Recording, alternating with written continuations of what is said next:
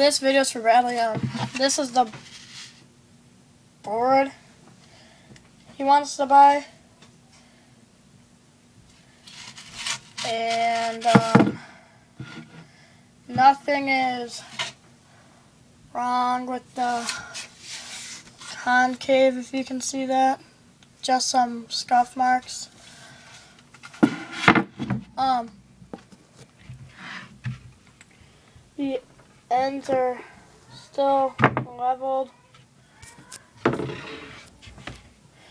The grip is all good, pretty much. Just a scuff mark here, here, and here. And then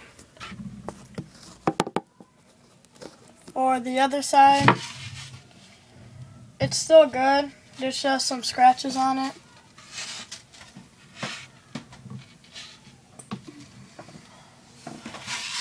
Uh, I put wheels and trucks on this before and it rides smoothly. So, this is the board.